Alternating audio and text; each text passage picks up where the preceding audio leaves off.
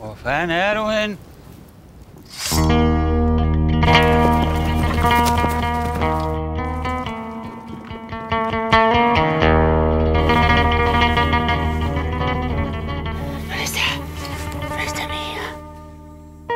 En la frontera con el desierto uno es un solitario, es una vida extraña, la de construir un país, una familia.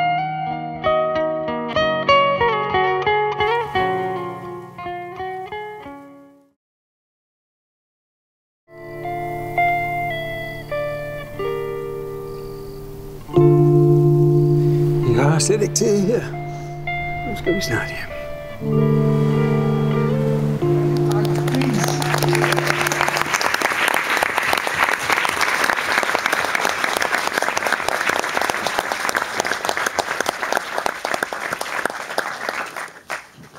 Lisandro, I know uh, your story with uh, Viggo dates back some time. Can you please tell us how the two of you came together and how Viilbjørk came into the picture? Well, I, I yeah, we, just met for first time like in 2006 in the Toronto Film Festival, and he, he was, I mean, after a couple of years, he was already starting working in Argentina in, a, in another film called Todos Tenemos un Plan. So uh, I approached to him at the last day of shooting, you know, maybe it was not the, the, the best day, you know, the best day to just go there and say, I have another project, you know. But nevertheless, this guy was uh, so incredible and just invited me to his table. And I, I start talking about this idea. But also because uh, the co-writer of the film, Fabián Casas, is an extremely good friend of him. He's a poet and a writer and he I think he was already like kind of being told about that I have this idea. And after that, uh, or maybe at the same time during the process of writing, I started doing it some kind of virtual casting, uh, and I meet uh, Viilbjørk, and that's the way it is, I guess. I mean, no, I don't know. And um, Viggo, of course, I have to ask this question on behalf of a lot of Danish fans. Um, an important question. Um, how did tonight's Champions League match end? 3-2. Bayern. Ikke nok. For dem der holder jeg. um, Viggo, you, du foretrækker måske at tale dansk i virkeligheden? Det er lige mig. Det er lige meget. Eller Uh, let's do it in English because then uh, Lisandro can join and Yes, probably yes. others too. Yes, yes. Um, what attracted what attracted you to Lisandro Alonso's way of filmmaking in the first place? Um, well, I'd seen when I met him, I had seen uh, Los Muertos, Fantasma, and Liverpool. I had not seen his first one, La Libertad, but I saw it soon after seeing him. Uh, meeting, well, it's not meeting him, seeing him for the second time. Uh, we met in 2006 at the Toronto Film Festival. He was presenting what was his third movie, Fantasma, uh, which is kind of a strange sequel to Los Muertos. And um, and I was presenting Alatriste, uh, a uh, Spanish kind of epic movie that uh, unfortunately only came out in DVD in uh, in Denmark. But I learned a lesson there, you know, because I came here to visit my uh, family and realizing that it never made it to the movie theaters, you know, and this was right after Lord of the Rings and all that, so there was, it would have made sense to put it in theaters, but some distribu- distributors just think more about making their money back or making some money, and they're not so worried about film in the way that I presume you are and the people in the audience are, which is put it in the movie theater, let people see it on the big screen. Um, what I did at that time was something, the seed of the idea of what our Jauja magical mystery tour was, which was I called my festa, uh, my aunt, Chule, in Michigan. And I said, I got a DVD, I just went to the store, I got the DVD, Danish DVD. Let's see if, uh, at that time she was um, viceborgmester, uh, uh, vicealcalde uh, vice mayor of Leinster. So and she had her hands in the culture. She was always pushing them to put statues in the street, and you know people there are like, why, why art in the street? You know, it's not. So mm, yeah, so people are more busy with other things, farming and just whatever, smaller towns. And she was always pushing the envelope. So she said, sure, I'll see if we can get the town. Uh, what do you, how do you say it in English? The town, not the town hall, but the auditorium of the of this of the city of Langston to show it. So I was only a couple days, so we told the newspaper to put it in the day before, which fits about a thousand people, and said we're going to show the movie, and I'll be there to answer questions if anybody shows up. And it was full, packed, completely packed, people standing, everything, and we did a great Q and A. It was a lot of fun, and I was like, well, you know, people want to see the movie. People want to see movies uh, good movies. And so with Jauja, that's why we decided to do it our own way. And I, I, I must say that it's, I'm, I'm really happy and honored to be in this, uh, one of the best uh, cinematheques in the world, really, to be here. And that finally, in the end, all's well that ends well, uh, we got to show uh, Jauja on a screen in a movie theater in connection with the Danish Film Institute, after all. so I'm, I'm happy.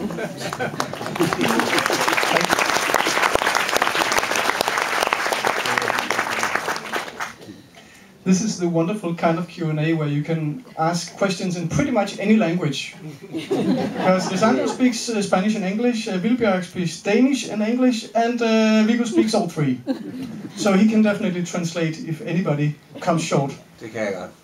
So, if any of you have a question or a comment on the film or the Santos other films. Yeah, and uh, I'm sorry, and actually, yeah. I prefer if you can talk it straight uh, in Danish. I, I enjoy to listen to your languages. No, no, I'm not joking. I'm, I'm seriously. So it's going to be fluently and, and it's going to be better. I mean, just go it's it's so nice to hear, Sandro. But how many others here don't understand Danish? Please raise your hand. You know, I'm right. That's fine. He's yeah, the only one. Uh, but I'm living it.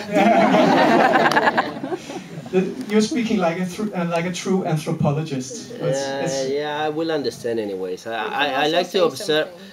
But actually, we, we have been around, and I really enjoy watching faces. You know, so no, I'm seriously. I, I like well, it's like when I go for locations and looking for characters. I, I don't understand some of them, but even they don't even talk to me, and I and I feel connection. So I will really appreciate if you can talk your own languages, and I will be watching you, all of you. Sandro? Just in case you want to ask it, uh, something straight to me, we can do it in English. Okay. Sandro, det er med i orden. tak. What the fuck? Demon Noxy.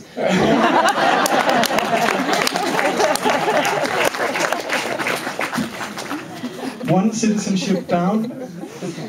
Øhm, værsgo alle sammen og byde ind. I har lige været udsat for et sansebombardement. En blanding af alt muligt. Jeg skynder mig op, og så må I gerne lige række mikrofonen ind så hurtigt som I kan. Og så stille spørgsmål sådan rimelig content, It's uh, not a question, it's more a comment to Viggo. I'm impressed about your Spanish. You speak very well Spanish, I can hear.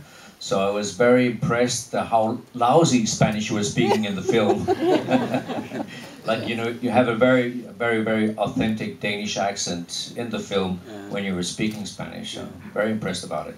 I, I uh, I, I loaned uh, this accent from my father. It wasn't so hard. I just copied him. My brothers and I, always since we were little kids, you know, since we were initially brought up in Argentina, we were like Argentine kids.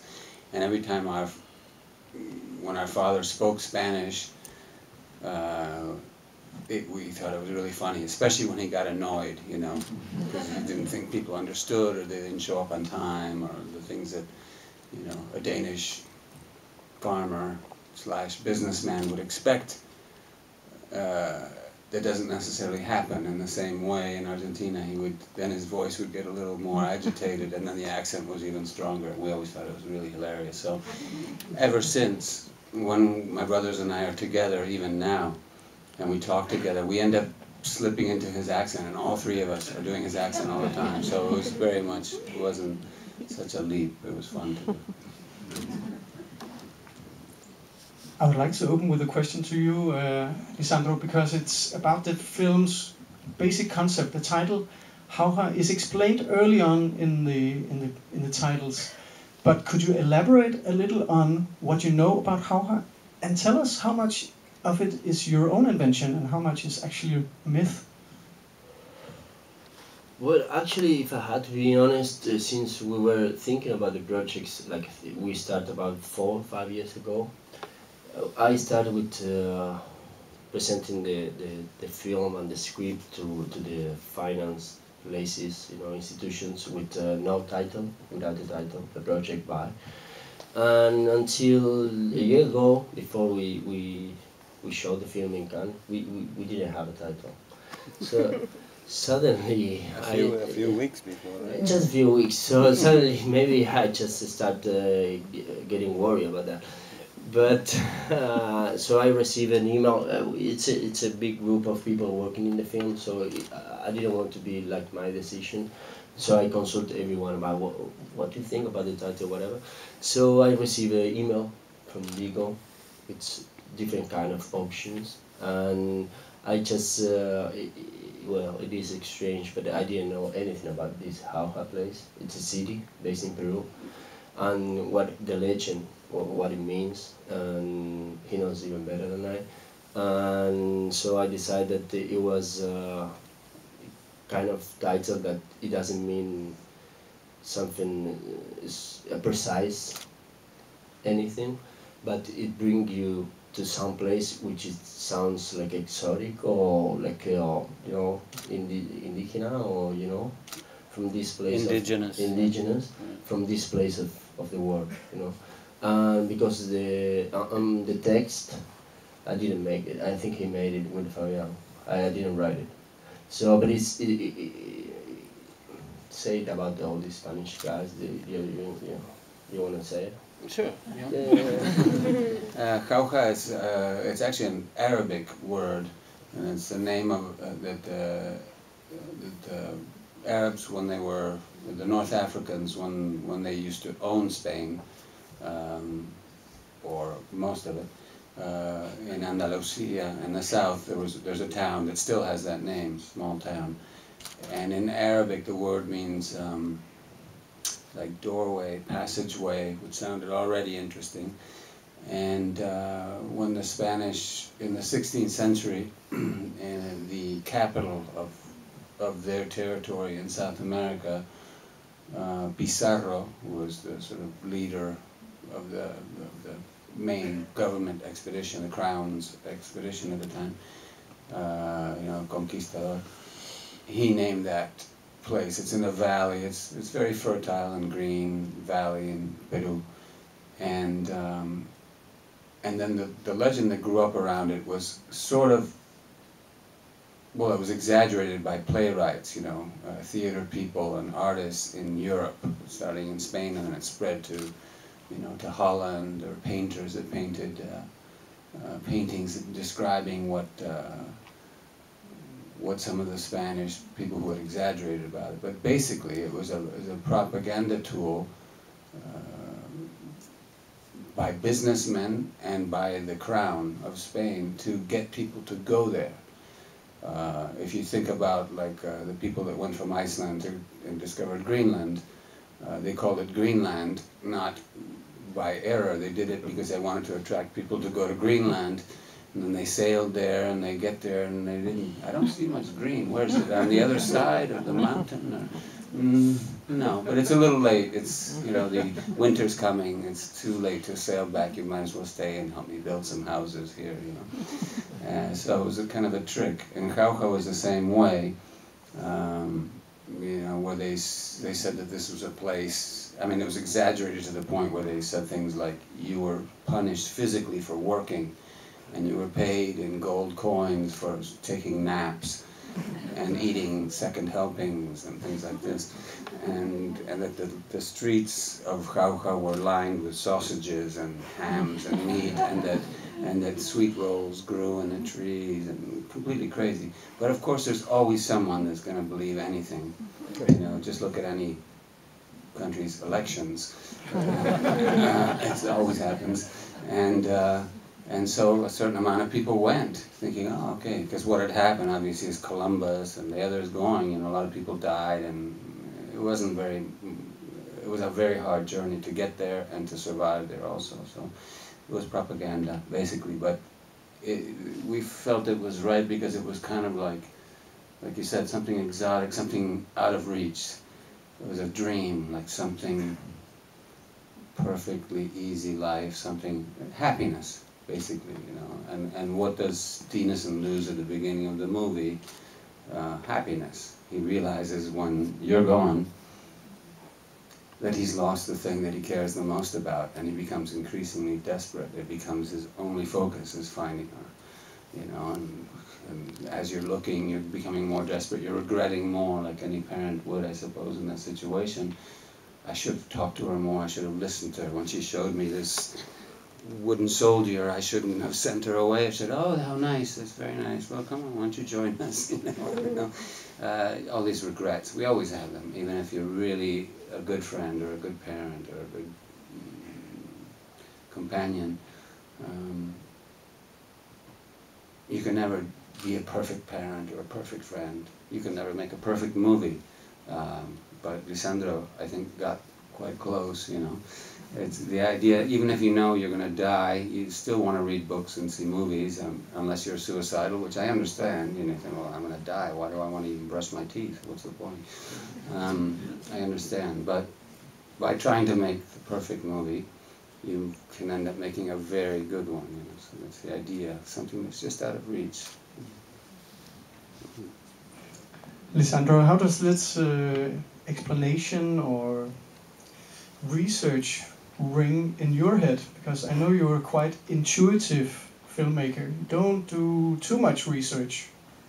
How do you two complement each other, or do you simply see some things differently, or are you, by chance, totally in agreement? Well, uh, research it has its different aspect. You know, then I travel more like 6,000 kilometers inside my place in Patagonia, so I like to, to, to travel alone. Basically, that's a good process for me to think about everything. But uh, I mean, I'm, I'm, I mean, I think most of in this film, uh, in terms of uh, this kind of, if we can call it some kind of poem or something, whatever, it comes from probably not from me. It came from from the other writer, Fabián Casas, which is a great poet.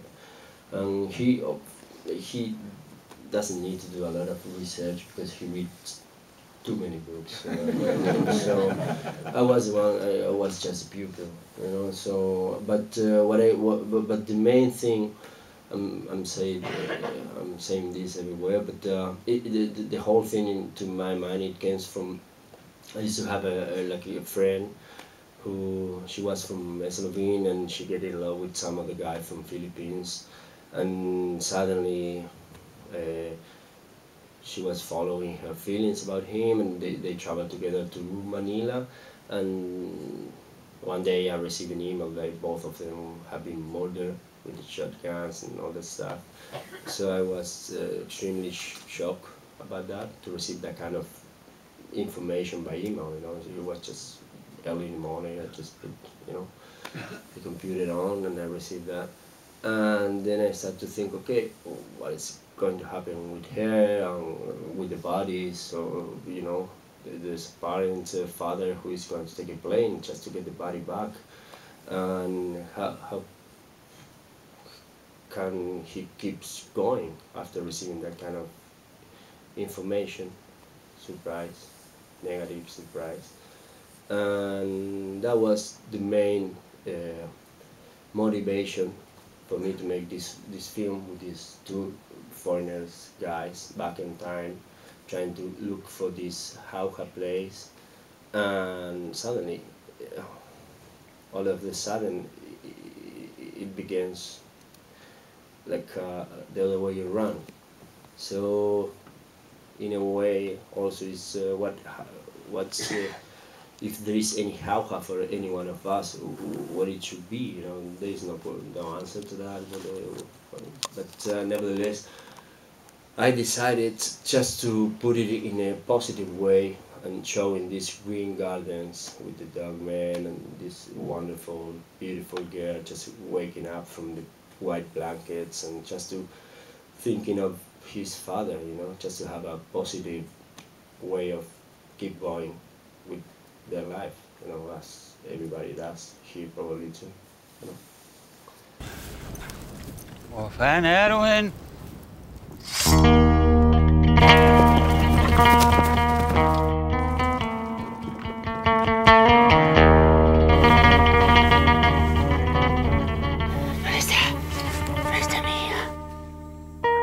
la frontera con el desierto uno es un solitario, es una vida extraña, la de construir un país, una familia.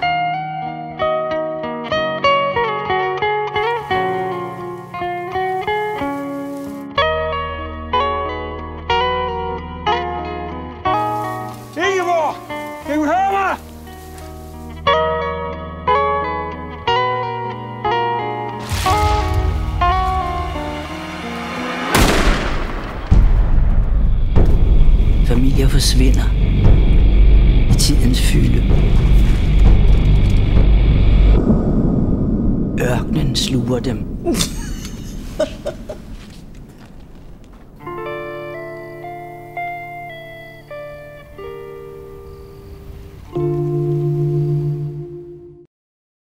I think you can tell from the response that people like the film, as I did. Um, before I leave the word to the audience, I'd like to ask Viilbjørk, first of all, uh, how has it been for you to be working with two major egos from the film industry, just being a young Danish girl? Du må gerne svare på dansk. øhm, altså, det kan godt være, at Viggo og til at se nogle store film i går, men øh, det synes jeg altså ikke, de er. de er rigtig, rigtig søde, og øh, det er rigtig, øh, rigtig dejligt at være i selskab med, og man føler sig meget, øh, meget tilpas i deres selskab. Øh, øh, man føler sig meget sådan, stille og roligere nede på jorden, og man føler sig meget velkommen. Øh, så det er bare hyggeligt. Dejligt at være sammen med dem. Vil, kan du sige lidt om, hvordan produktionen af den her film har forløbet? Hvor har I været henne i verden for at optage, og hvor lang tid det forløbet over? Øhm, ja, vi har været, vi har optaget i Danmark, i Faxe, på et slot, der hedder Lystrup Slot, som er det, der er slutningen af filmen faktisk. Øhm, der optog vi i, i 4-5 dage, tror jeg. Øh, og så, det er tre år siden, faktisk. øh, og så øh, for cirka to år siden, der øh, var vi i Argentina i cirka optag i cirka halvanden måned, øh, hvor vi var i, i vi var i, hvad hedder det? Patagonien. Patagonien, ja, og La Pampa, øh, og optag, som er de her meget smukke, smukke, smukke natursteder. Så filmen er cirka optaget over, over halvanden måned til sammen, men, men over, over et helt år. Lisandro? Uh, I'm sorry, Yeah? I just stopped can mention it that I see the other actor of the film, Brian Patterson. He's the one who appears at the end. So Yes. can, can I ask you for an applause for that guy? Yeah. I will say that, yeah.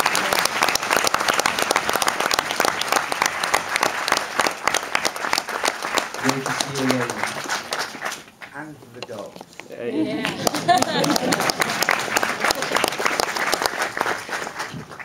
Thank you for the movie. It's the I've seen a movie by Lisandro Alonso, and I was kind of thinking, um, I couldn't. I was curious to to know if there was uh, inspiration to, like the way you shoot the scenes, like the quietness and the stillness, but also a lot of intensity at the same time.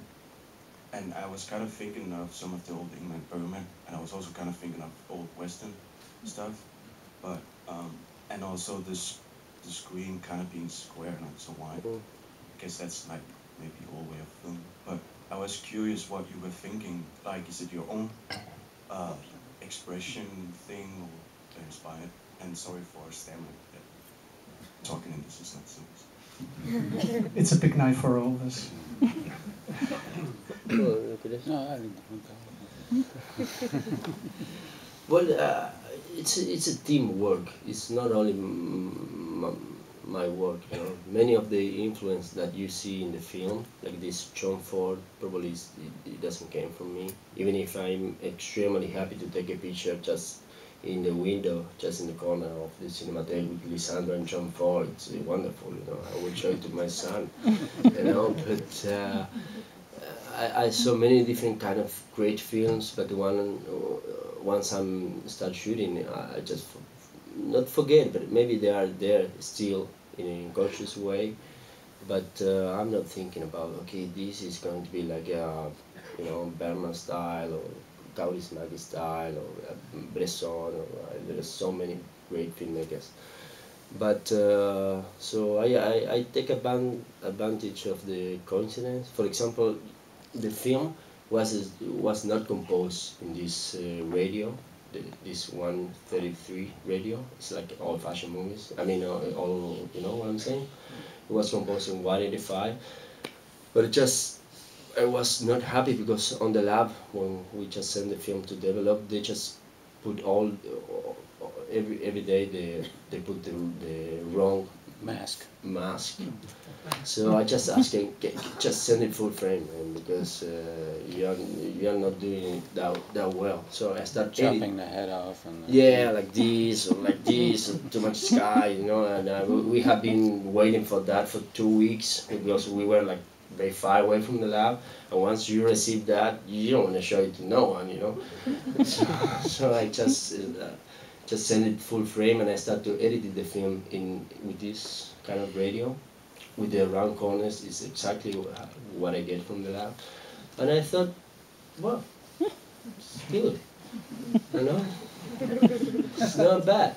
So I'm joking here, but I think it, it was this kind of painting kind of format or, or antique way of watching movies. It was going to be better for me and for you and for the audience that probably if they know that Viggo is going to be in, in the film. I mean, just I want to be like clear here. But uh, with the with with the rifle and a horse and there's some Indians in in the middle, probably they are going to be waiting for some more action film, or you know what is going to happen? Is he is he going to get back to gear or not? And I thought that if we put it in this kind of window, you are going to see the film in a different way, not waiting for this kind of action movie, you know which I love them. I, I love action movies I, I mm. completely, but for this kind of film, I thought it was better for, for the rhythm on, of the film just to have this kind of emptiness and just see Captain Dinesen walking alone, you know, in the middle of the rocks, in the middle of nowhere. I don't know. That's why it's my opinion. We have another question down here. Uh, it's also for Lisandro. Um, sorry. I would like to ask you about the, the background story of this War of the Desert. Why is it? What's the idea of this background story, and why is it not explored further? And is it a comment to Argentine history, or why why is it playing out in this um, historical framework?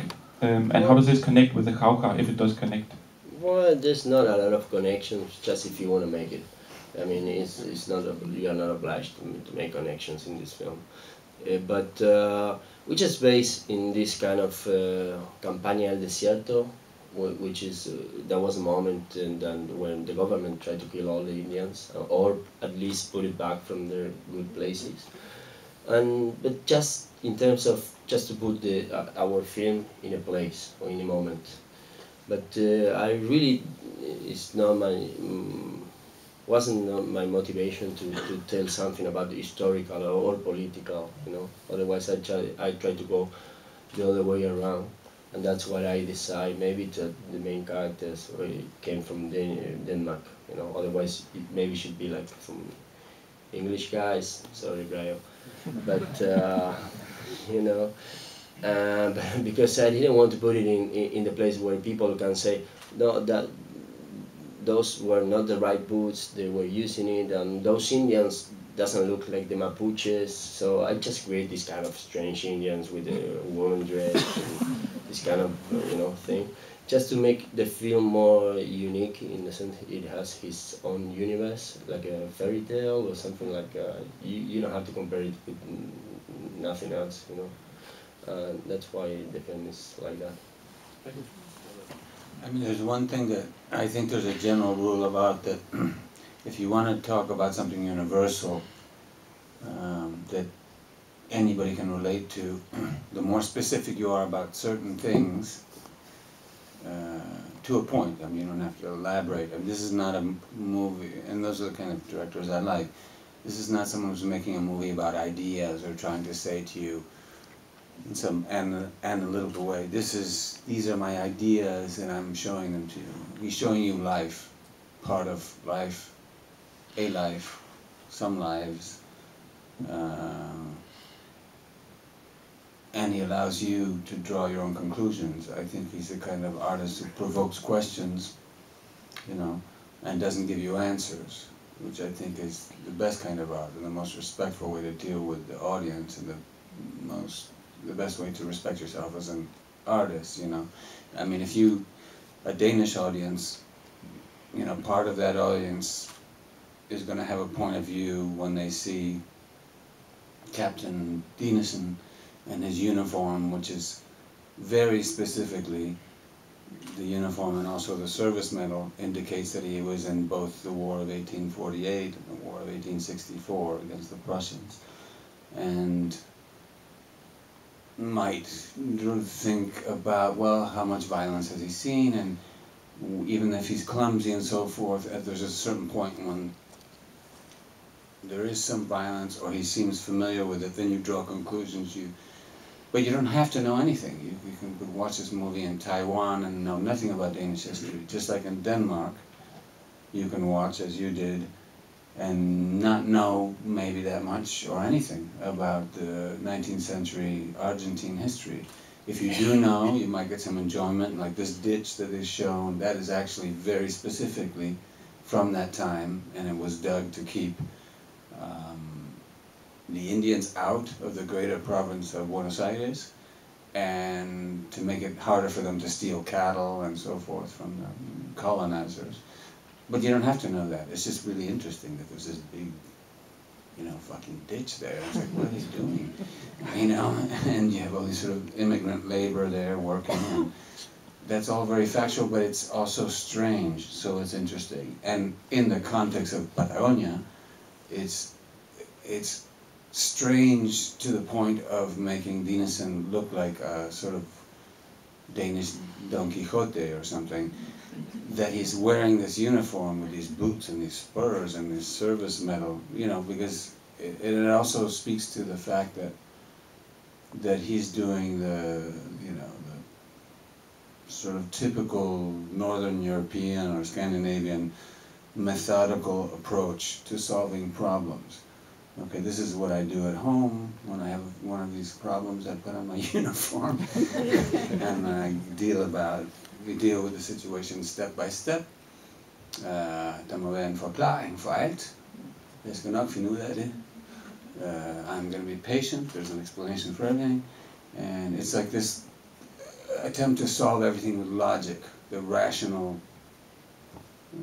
modern European mind, I guess, in a place where it doesn't quite work, less and less as the story goes on, and and dealing always thinking in linear time, and that doesn't work either in this situation uh, or the situations he's in, and so the more he's behaving what for him and maybe for us, I don't know, is normal. Yeah, of course, he's trying to find her, he's trying to find her trace of her. He's asking questions. Um, but even at the very beginning, you know, we don't know if Dinesen agrees or not with uh, with uh, Pitaluga, Lieutenant Pitaluga, uh, that that all Indians should be, you know, eradicated, should be killed. Maybe he does, but he does want to know their specific names of the tribes before he kills them all, and and then he can go home and write a book in Denmark about it, maybe, or write it in his journal. I don't know. It's this sort of strange. The more he's trying to be rational, the more strange in contrast it seems. I mean, that's what I love. What you you you you take these jumps, you know, in the same way. Like there was a movie that that we looked at. We were talking about outside that Fabian, Fabian and Sandro looked at, and I looked at, and you know, before shooting. Not that it had anything to do with what we did at all, but it was just the idea.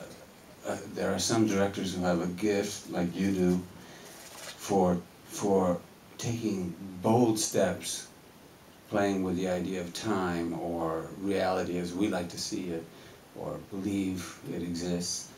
And this movie was um, Ordet of uh, Carl Dreyer, where incredible things happen and where you think someone's crazy and then you're not sure they're crazy and things that are just impossible happen but in a very organic natural way in that story if you know this movie. And that's what you do. You know you make these bold leaps. But each time you see this movie each time I've seen it I've seen more layers that are that are leaps you know. It's not just when Dinesen falls asleep under the stars and then the next day the weather the landscape and everything's different.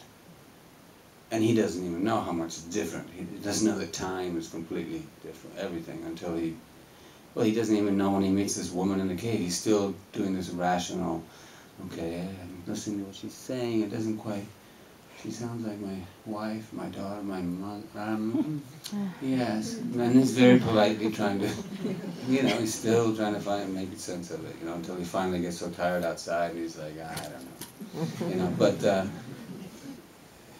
these these these steps very early in the movie, the very first scene, when we're sitting together and she's asking about the dog, and I say, yeah, yeah, and I'm picking, I'm, you know, I'm teasing her a bit, and oh, that's a very difficult kind of dog to find, and so forth, and then she seems sad, and then I say, wow, we'll we'll find we'll find a dog, don't worry about it, and she's happy, and she leans on my shoulder, and she closes her eyes.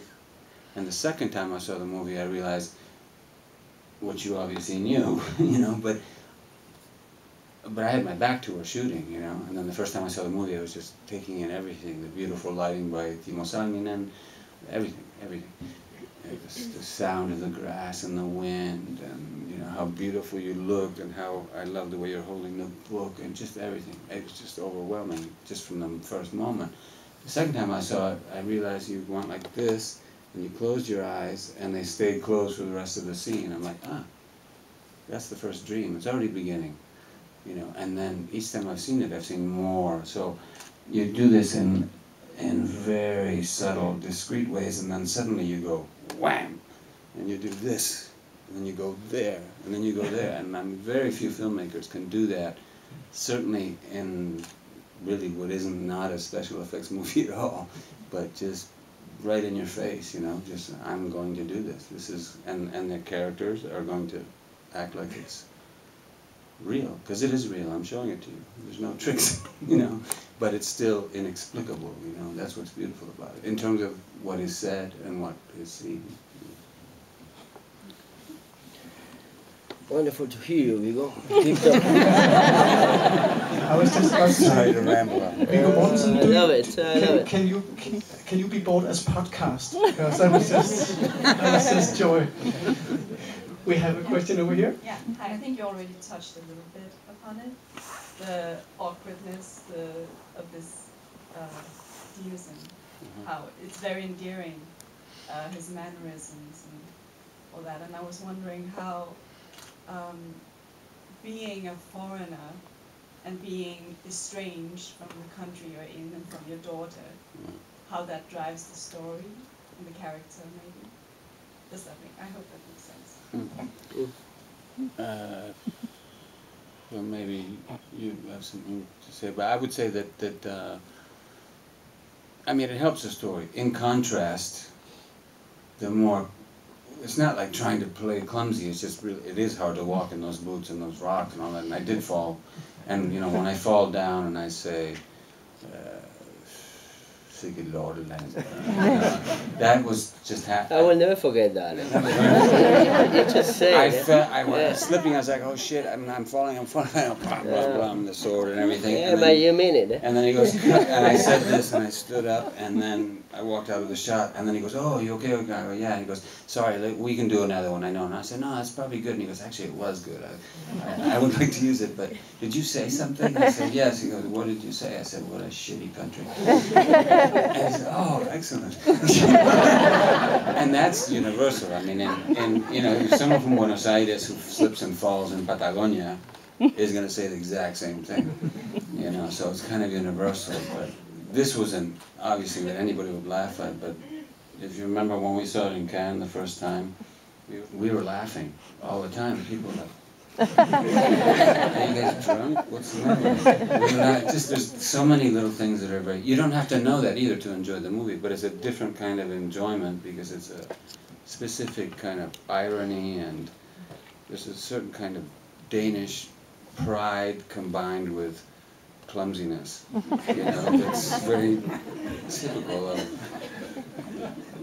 Danes. You know, they maybe don't like to admit it, but they like to watch other Danes suffering from it. Maybe I don't know. but it's very funny that. And and then in Argentina, there are other things that seem funny, like to them, the sort of arrogance maybe of Milky Bar, the minister, and Yeah, trying to talk in French and saying, trying to impress you, like, uh, and you say, I don't care Yeah. about what you say, no, I don't, I don't know what to say, it wasn't there. Right, and even there, you know, there's a thing where he's he's. I'm just thinking about dinner. I don't know what the hell they're talking about. There's Yeah. the on the dog and the this and the.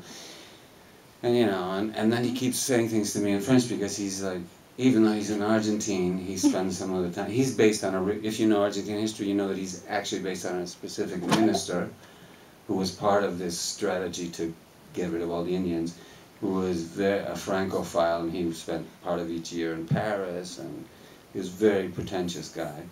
And he would do this if a European, was like, we're Europeans, he was putting himself above his own countrymen in that scene. So directing things to me in French the first two times, I'm like, I don't say anything. And the third time, uh, I say in Danish, I say, "Står ikke pindo." You know, in other words, he's basically a farmer. I mean, he's learned to be an engineer, but he's like most of the guys who fought in those wars in the 19th century for Denmark were farmers.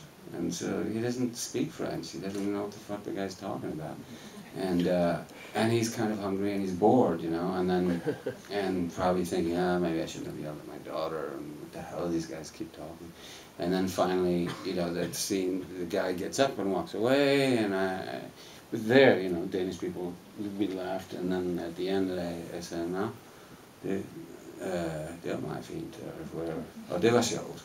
You know, like that was, like that was fun, you know, this conversation, the whole thing was ridiculous, but there's those little things that are very, you know, and then when are we eating, and the guy says, uh, later, and I, so it's like very grounded, but I think that this grounded behavior, or the way that you, you know, you touch that boy, or you know, the way you guys are with in the landscape and the grass, and the way you handle the wooden soldier, the way you take the compass. You know, they're very real actions. They're very simple, very grounded in reality. But meantime, Timos and Lisandro are putting this strange light on it. It wasn't me, it was him. Well, but you, you hired him. You hired him for a reason. yeah, yeah, yeah. Oh, there's a very. Do you want to tell this? Well, There was one day. You did have one day where you.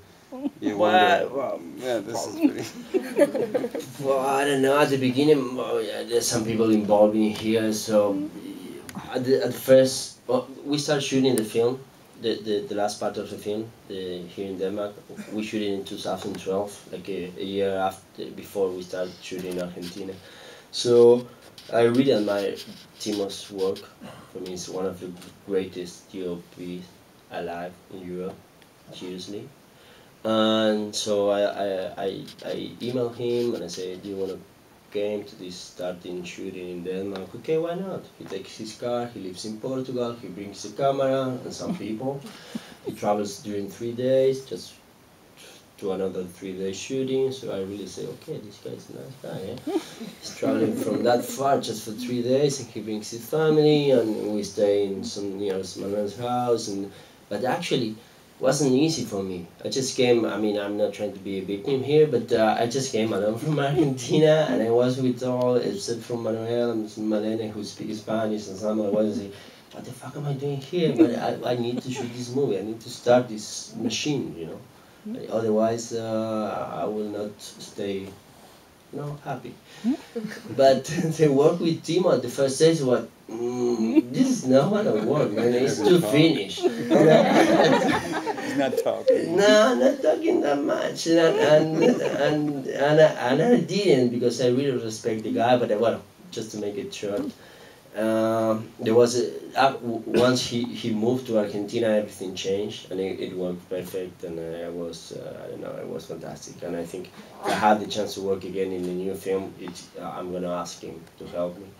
But uh, there was a scene, especially in Argentina, when I when I I still respect a lot Timo because this is the first time in Denmark.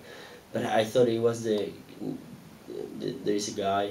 Uh, lying on uh, with, the, with the fire thing, and they are talking, you know, about uh, something in the film. And there, it, the light it should came from from the fire thing, but it was too too too strong, no, too strong. Yeah. What did you say?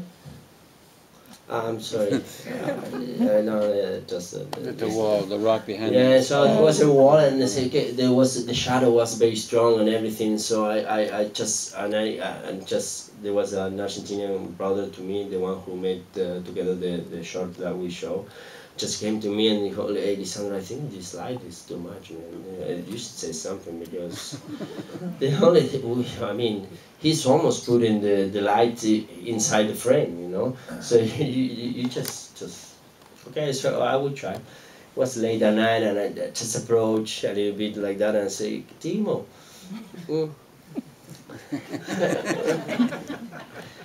Everything's fine. no, he doesn't say. At the second time, he, he doesn't. Like, what the fuck are you?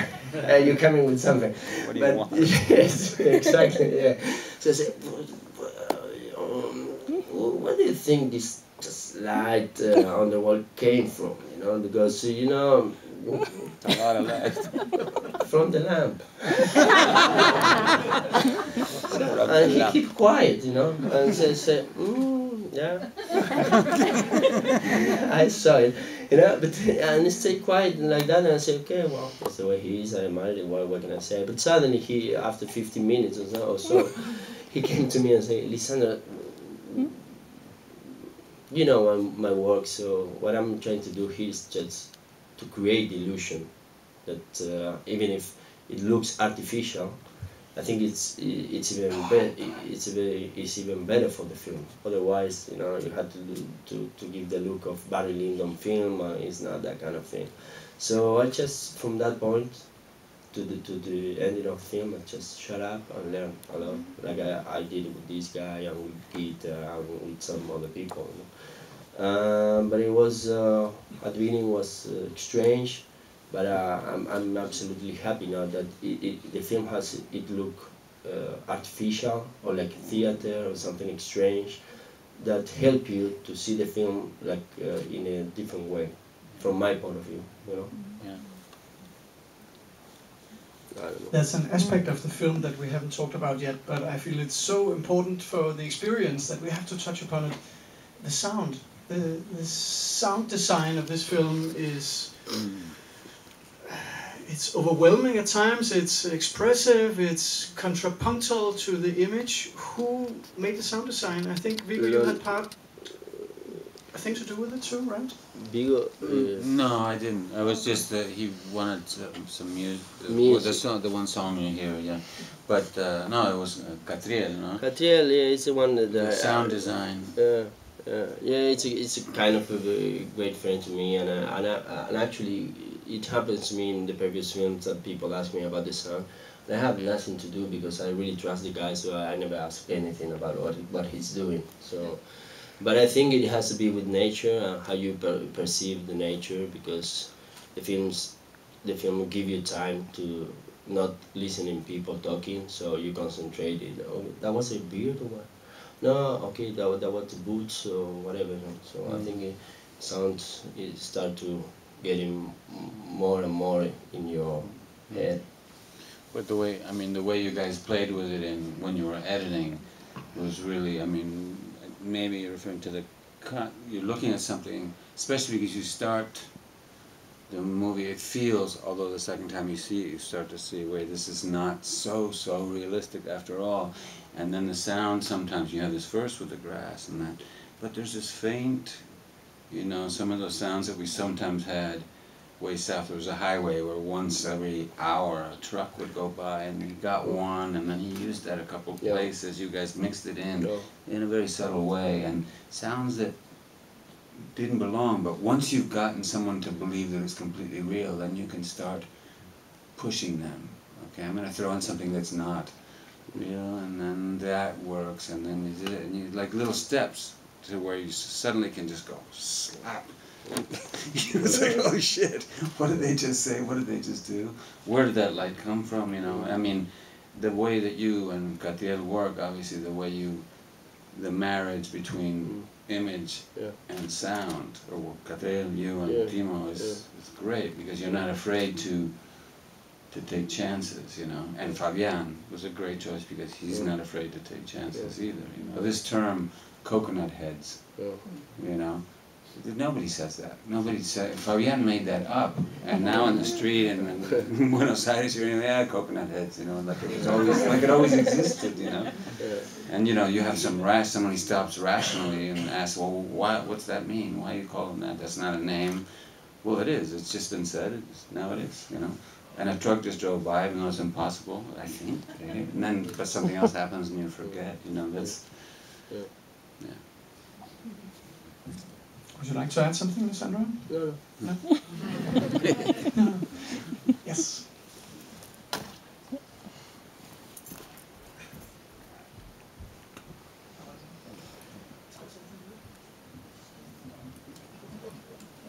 Hi, uh, I'd like to ask uh, Viggo, what was it like to uh, speak Danish in a film? I guess you not, don't usually do that. And for Lisandro, uh, sorry, what was it like for you to direct uh, actors in a language you don't speak yourself? That's easy. you just don't pay attention. no, well, I don't know. I, I really, I mean, I trust absolutely 100% to 100% this guy. So, when I, it was my first time working with actors, like, you know, uh, what am I gonna say? No, I think you're not doing that right, man. I think you should go the other direction. I just shut up and, and learn, you know. But uh, yeah, the first time I, I, I, tried to be honest all the time. So the first scene that we were shooting in Argentina, Hugo was far away, you know, and uh, say, okay, it's now or never. No, it's our first shoot. You should say, you should say something. And Viggo was, uh, you know, like uh, I don't know, 50 meters on, and say, and uh, ready to, to shoot. And I said, okay, okay, you know, just give me a minute.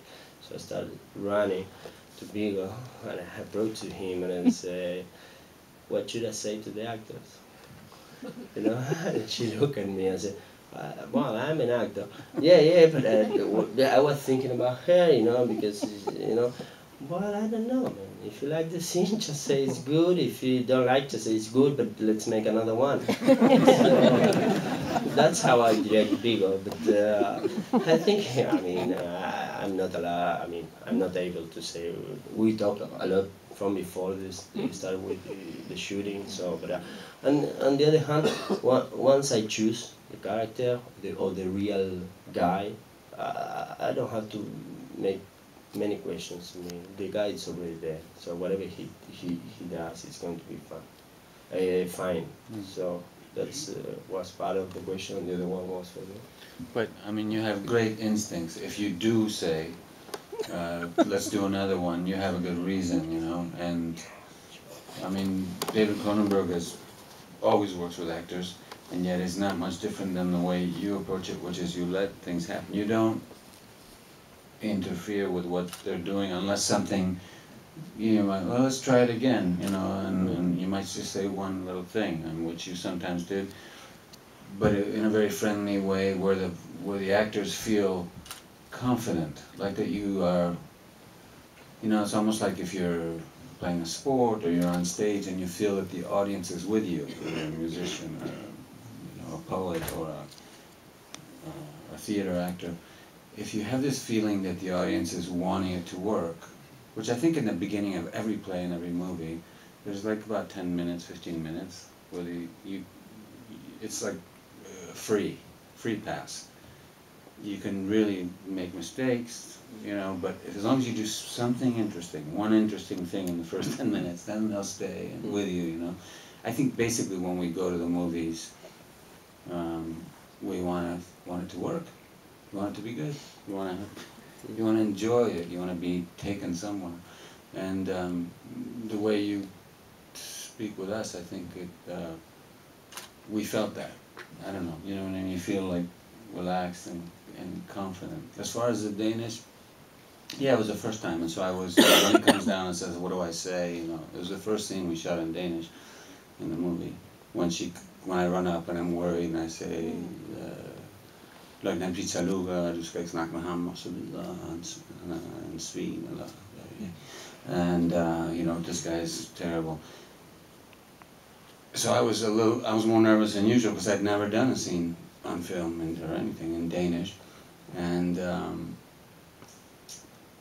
so it made me a little extra nervous. And then when he says, "What do you say? To, what do you say to them?" I said, "To who?" He says, "To the actors." I'm like, "Well, shit." now I'm even, but it was. It, what I think is great, and the way you speak about Timo and learning, the way you speak about Catriel, the sound guy, and learning, or the actors and learning, it's not like you're just sitting there doing. You actually are guiding us in a very gentle way, and a very intelligent, like a encouraging way. You know, everybody. It was very much a family thing, and that's that's really smart, and it speaks to the way he is as an artist, which is he's not afraid to say, what do you say to the actors? He's not afraid to say, where does the light come from? Um, you know, he's not afraid to say, I don't know, which is great. You save so much trouble that way in terms of communication, and you make a much better story that way. Um, so I didn't, once we did the first take, I felt, you know, I think both of us were nervous that first scene in Danish and that first take especially. And uh, but it was funny about the Danish language. I have to say, no offense, but when when if you remember that scene at the end, this guy who works for Pitaluga is trying to distract me, and he says, "Oh, your horse is ready. Come on." I'm like, ah, torn between trying to keep her away from Pitaluga and and this guy saying, "Your your horse, Cavi, your horse." Yeah, yeah, yeah, yeah. And then I finally go and I go up over the hill, and I and I go over the hill, and I'm thinking like most actors Okay, how did that go just now? I think uh, I think it's I think we said all the words, and it felt like we had a good, you know, connection. And so I guess Lisandro, I'm, thinking he'll be happy when I come over the hill. You know, he'll be standing there smiling or something maybe. I come over the hill and he's sitting facing the sea. He's sitting at the edge of the cliff, you know, like this. and I walk up and I look at the crew, and they're like. Going, no, he's not speaking. He's acting like Timo all of a sudden. and uh, and then he looks and sees me coming, and then he looks down again. Looks out to the ocean, you know, like that. And I'm like, fuck, something's wrong. So I come up and I go, so what's what do you what do you think? What's wrong? and he says, uh, uh, I don't understand anything. I don't understand a fucking word of what you're saying. Danish. No, no, no, but I didn't expect that. I mean, not nothing. Just all unintelligible sounds. you know, I mean, I'm, he seemed to be very surprised that he, he thought he would understand said, Did you like it? I, I well, I, I, just don't know what you're talking about. Did you say what I what we wrote? yes, we wouldn't do that to you. But you know, there's this openness. It's like I don't know, or saying what's on your mind without being. There's a lot of directors, even great directors, who've been making many movies, who have this need, it's like an ego or an insecurity thing, to have you believe that they thought everything that you see on the screen was their idea. And it was mm-hmm. planned, and they thought of everything. You know, it's not just men. Women directors I've, I've been directed by who have this too. They're terrified that someone might make a suggestion or ask a question, because they might have to lie. And, you know, instead of saying, I don't know, what do you think? They have to make up something. They try to avoid uh, having questions be asked. They, they don't encourage questions at all, and they don't want you to. If anything, a journalist points out, yes, that, was, that bird that flew through the. I put that there. I mean, seriously, you know. But he's the opposite of that, which I think is great.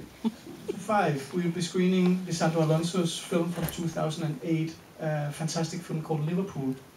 And there's still seats available for that. And I thought maybe Viggo, since it's one of the films you saw before working together with uh, Lisandro, would you like to say maybe two words about why people should spend time coming here tomorrow and not stay at home?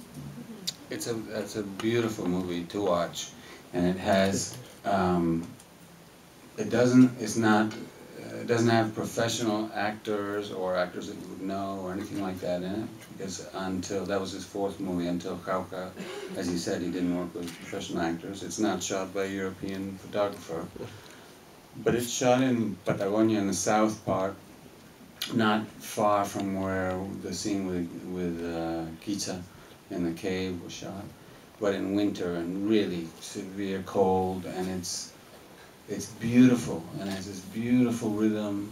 Uh, it's very measured. It's maybe not to everyone's taste, Just but, but neither is Jauja, you know. Um, it's it's really mesmerizing. It's it's it's like this movie in a it's a different kind of series of paintings, I would say, and it leaves you like this movie does. I think thinking, you know. And there's not many directors these days who make movies that leave you thinking, that leave you with that great question, which is, now what happens as you walk out of the theater, you know. And Liverpool does the same thing. So I just want to make a toast with you. Thanks for that. And I, a, a skull, yes, skull, many skull. No, and if I have the chance, I'm happy to be here at the Cinematheque. And I hope that if we are lucky, this is not going to be the first film that uh, people from Latin America and Danish guys can make together. So I wish that. So that's. Skål på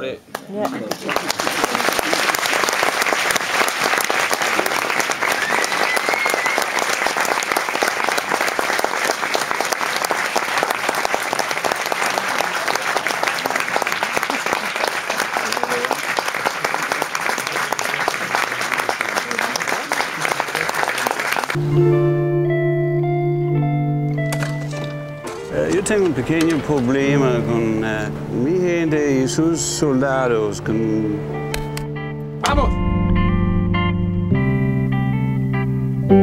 Los rumores corren rápido en el desierto, ¿no?